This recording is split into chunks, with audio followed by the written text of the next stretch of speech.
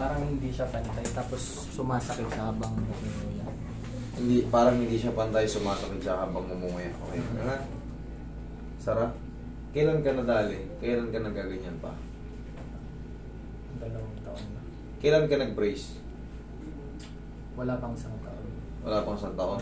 So, ibig sabihin, nauna yung ano mo, Mm. nauna yung pananakit dyan. Tapos, nung nag-brace ka, buti nakabitan ka ng brace kung ano. Kasi pag nagwiwigil yung bunga, ay yung ano natin, jaw natin, pag tumagal ka ng ganyan, merong medyo mairita ka. Mm. Okay, sige. Upo ka ba ito? Tingin ko lang yung kamay ko. Para hindi maglasa. Ah. Sara. Pag kumakain ka, sumasakit siya. Dito. Sa babang part. Sige nga nga ulit. Okay, Sara.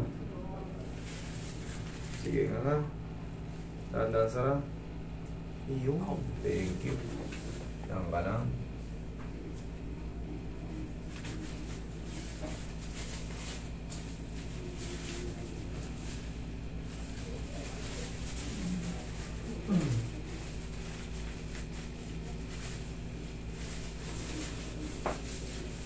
Okay nga lang diretso.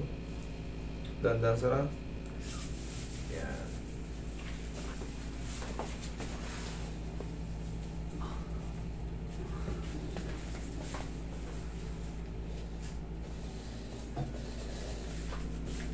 Okay ka lang?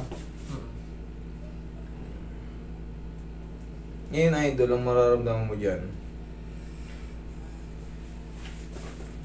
Kunti na lang yung mararamdaman mo na pagkain mo. Tapos 3 to 4 days, bugbugin mo lang to ng ano, chiclet or bubble gum. Mm.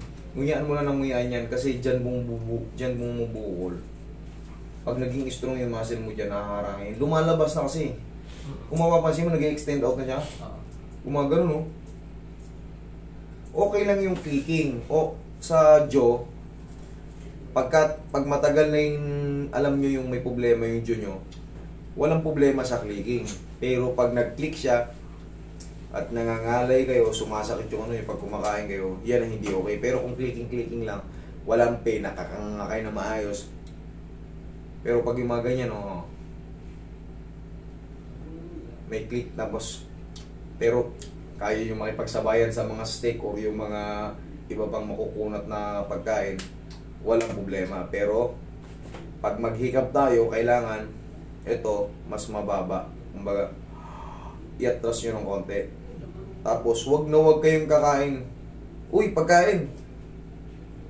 Pag may problema tayo sa Diyo, kasi haharang minsan yan eh. Ganunin nyo muna.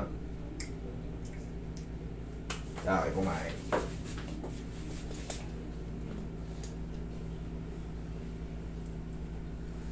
Okay. Sige nga nga. Sara? Ah? Sara? Sakit? Hindi. Hindi naman. Hindi na po. Okay.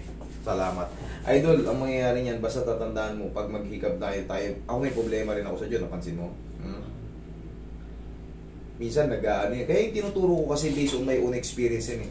Minsan nga pagka yung helmet ay medyo masiip, ginagano ko, kinokontrol ko kasi sumasakit, nangangalay pag naiipit ng helmet eh.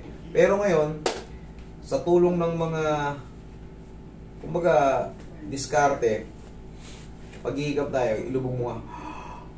Ano ka? Hinga. Sara. Walang magiging magiging problema dyan, basta palagi naka-maintain yan. Kasi yan, naglalak yan pag careless tayo. Okay? Mm. Ah. Sara. May masakit. Okay naman? Sure? Okay. Sige. Naano ka sa pau? Sorry. Pero wala nang ano, hindi na ma-lolocate pa. Ayun na yung magiging ano yan. Yun yung ano yan, maluwag na yan. Pero, yun nga, sa hikab tayo mag-control. Okay? Napantay na yan, napansin mo, tumunog. Mawawala na yung sakit yan. Kasi, yun nga, sasabi ko, pagka kumakain tayo, tapos sumasakit. Hindi po pwede yung kailangan mabago yung posisyon. Ngayon, wala na yung sakit. Okay na yan, idol. Tapos, bugbugin mo muna to ng bubble gum. Yung nguya mo ganun. Basta nguyan mo lang. Sa unang araw, medyo makangawit ka, pero sa mga susunod, dire-diretso lang. Para ka lang din nag-gym. Okay?